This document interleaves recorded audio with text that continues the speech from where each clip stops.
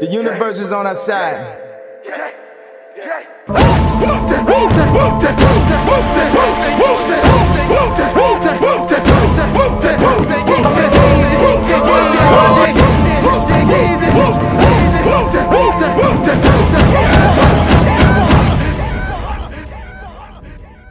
Um, the camp has been very fine. Um, the boxers have been, and they're in shape and they're ready for the tournament.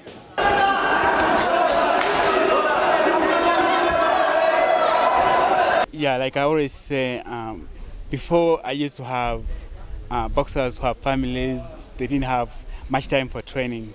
But around this time, um, uh, because of Champions League, I think uh, the performance has been not bad, and the boys are young, and most of them have no families.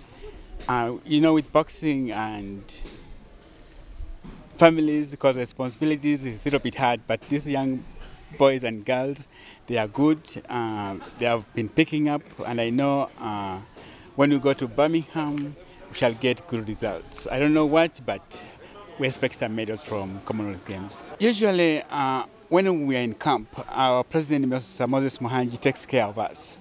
Then he, he, he, he works out with the government later, but for us, we have been good, we get what we need, we have the, the equipment.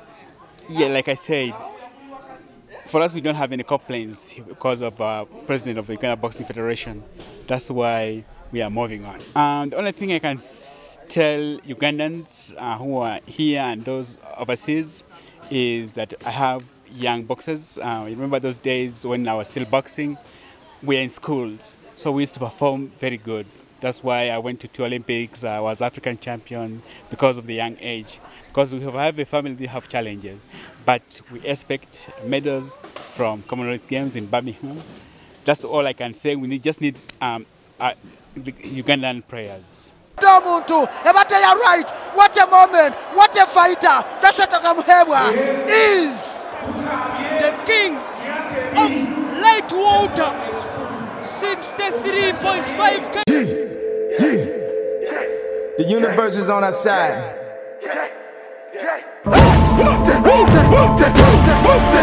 Woo!